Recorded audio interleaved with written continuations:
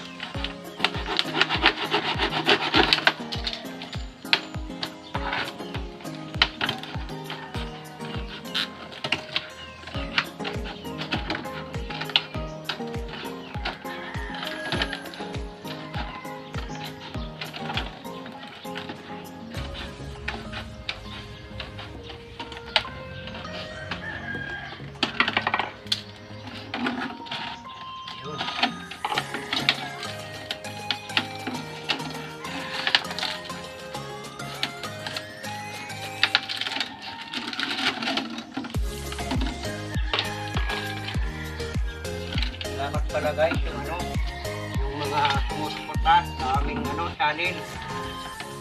Sana patuloy niyo pong panoorin ang aming mga video.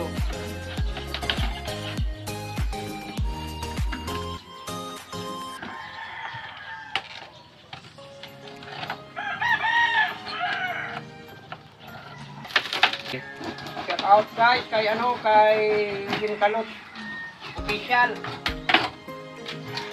kay Jared Puerdo at kay ano kay Romy Simon. Ang ano niya ang channel niya ay ano Morning Simon TV kay ano kay Jacob Iwayan. Salamat sa pag-subscribe at panonood ng aming ano ng video kay ano pala kay Dato Saod. Salamat po sa ano sa comment at sa paalala. Ah, yung kung ano namin yung content namin doon na ano na electric fishing wala lang naman po yun doon lang po yun sa ano sa ano nang biyanan ko sa lupa. Kasi yung ano niya yung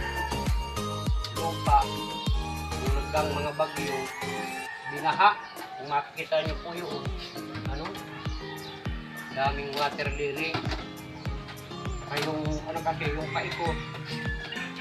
Ano po yun, na, na- nalagyan ng mga kalsada. Kaya yung tubig doon ay ito. Hindi mo kapag tanim ng ano, palay. Gawa nung ano,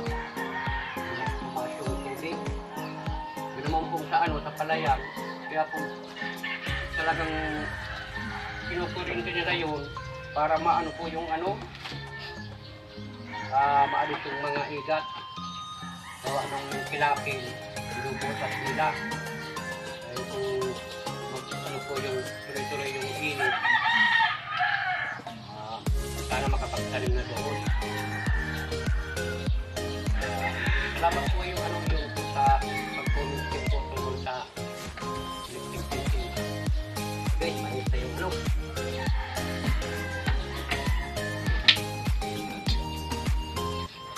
Bubutasan lang po natin itong ano dito para may ano.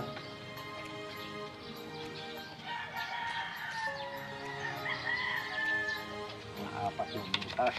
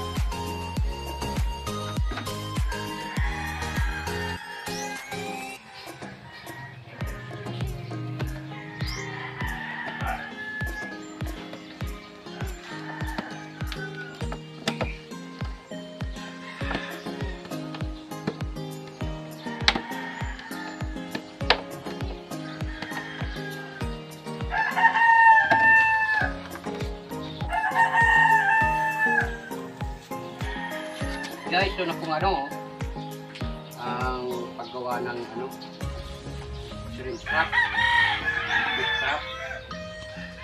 Ah, yung iba guys, pinuputol to, pero ito hindi natin puputulin. Bumutasan lang natin ng tapat dito para magamit natin ito ulit.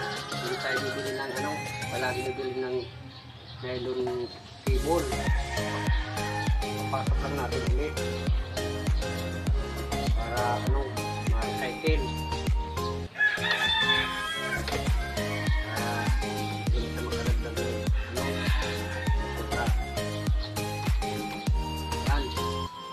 ulitin lang po natin. Ah, same process lang po. Tapos, abangan nyo po mamaya. At ito yung lalatag natin doon sa sapa. Para sakaling makahapon ng ano, hipon. Hipon ang ano po natin. Hipon ang huhulihin natin dito. Kasi yung maliliit na isda, ah, kakawalan natin. Hipon lang po yung kukunin natin. Nyo na lang po guys. Salamat sa ano. Salamat sa mga nanonood. At yung hindi pa sana po, mag-subscribe na kayo. Guys, thank.